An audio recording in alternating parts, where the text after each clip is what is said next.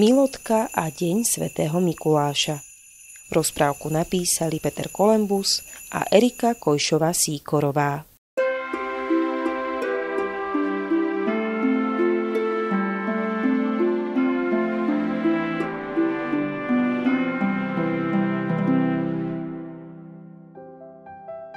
Pysťu, ale už je ozaj poriadna zima.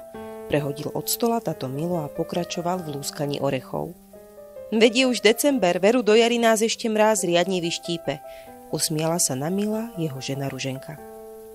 Ich dcerka, malá Milotka, sa zašíva pri peci. Niečo tam iste vymýšľa, lenže kamaráti dnes ako si nechodia, tak je Milotke dlhá chvíľa.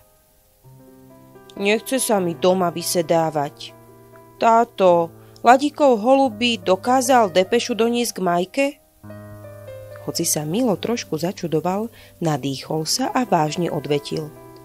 Hmm, čo by nie, len treba vybrať toho najtučnejšieho holuba. Ako to najtučnejšieho? Opýtala sa nechápavo Milotka. Ak vyberieme najrýchlejšieho holuba, ten keď sa rozbehne, zastaví sa až dole na Krasňanskom kostole – No taký tučný holub k Majke s depešou pohodlne aj dokráča. V dome sa spustil smiech. Milotke až po chvíli došlo, že si z nej táto uťahuje. Prstom si ťukla po čele a len tak mávla rukou. Už si aj kapce na nohy súka. Veru zajde k Majke radšej sama. A ani nemusela ísť ďaleko a pri rieke uvidela všetkých svojich kamarátov. Neváhala, hneď sa k ním pridala. To bola zábava. Spúšťali sa z brehu až k zamrznutej bystrici. Mirko sa rozbehol hore kopcom, že sa spustí ešte trochu zvyšia.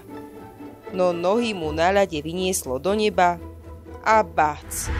Rozčapil sa na zemi ako žaba.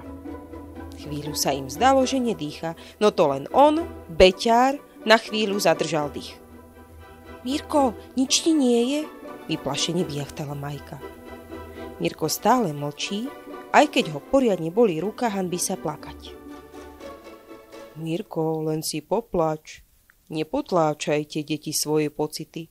Aj väčší chlapi ako ty si niekedy poplačú. Oho! Počuli ste to? Kto to povedal? Nikde nikoho, iba my. A toto predsa nie je detský hlas. Deti sa pozreli smerom, odkiaľ ten záhadný hlas prišiel hľadia ku kraju zamrznutej rieky. Ľad je tam číri ako sklo. Spoza stromov preblíslo slnko. Deti sa odrazu v ľade vidia ako v čistom zrkadle. A z ničoho nič v tom zrkadle nevidia seba, ale záhadného deda s krásnou červenou čapicou a bielou bradou. Mirko, nič sa neboj, za chvíľu to už nebude bolieť, hovorí neznámy muž. Deti ani nemuknú, uvažujú, či sa im to nesníva. Milotka jediná pozná bíly aj škriatkov, aj ostatné deti ich videli, len vždy ako si rýchlo zabudli, že sú naozaj. Pošepky sa spýtala, Pani, kto ste? Som Mikuláš, odpovedal pán v ľadovom zrkadle a Milo sa na ňu usmial. Dievča moje, doma si vyčisti čižmy, daj ich k peci vysušiť a ráno si ich dobre pozri, povedal Mikuláš. Slnko zašlo za vysoké jedle a žiarivý odraz v zamrznutej bystrici zmizol. Deti, počuli ste to? Videli ste to?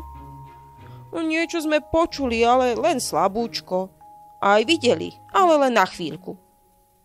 Večer si vyčistíte čižmy a dajte si ich vysušiť k peci. To mi ten pán povedal. Jaj, Milotka, zasa si počula niečo, čo iný nie, povedala Majka. Milotka bola veru sklamaná.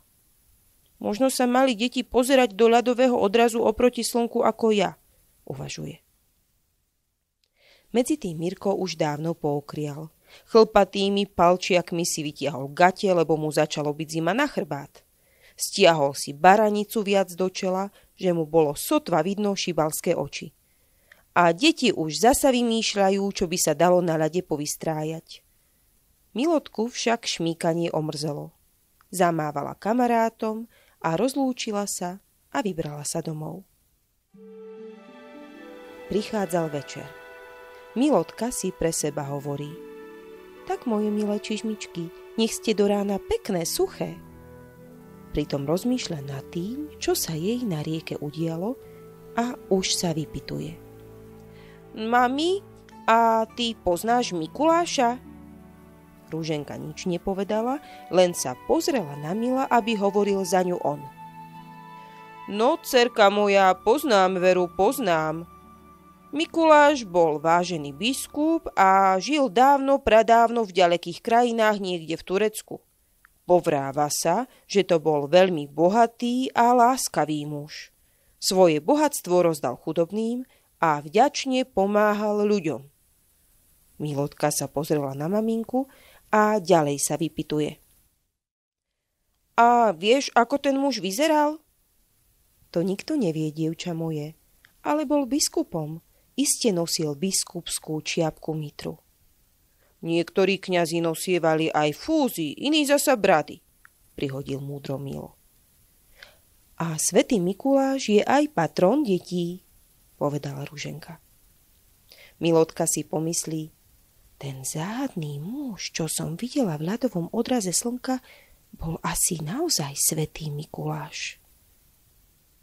Cerka moja, teraz si už ľahni, treba ísť spať. Zajtra je tiež deň. Milotka poslúchla a rýchlo zaspala. Veru bola unavená z toľkého šmíkania. Ráno, keď sa Milotka zobudila, hneď si spomenula na Mikuláša a bežala k pecigu svojim čižmičkám.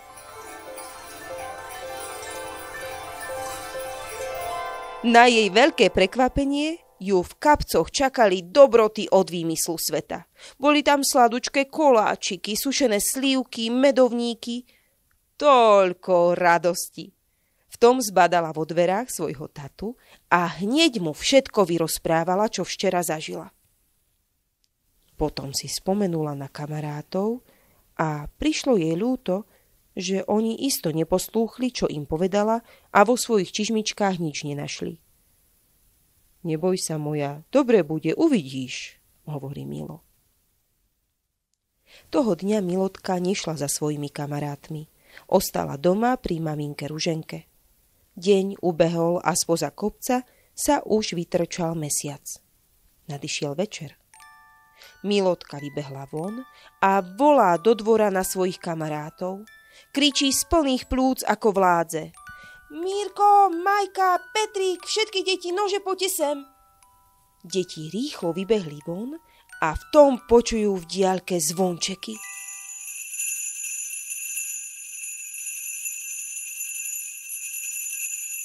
Potom zbadajú krásneho konia, sane a na saniach sa vezie pán v hrubom kabáte.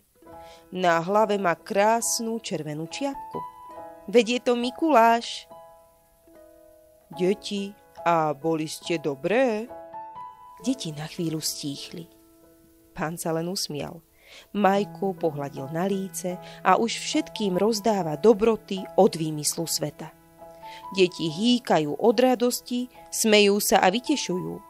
Majka aj ostatní sa potom otočia a hovoria Milotke – tak ty si ho predsa len včera pri rieke videla. Pravdu si mala a my sme ti zasa neverili. Milotka sa usmeje na svojich kamarátov a nenápadne žmurkne na pána s vysokou červenou čapicou a potichu povie Tato, ďakujem.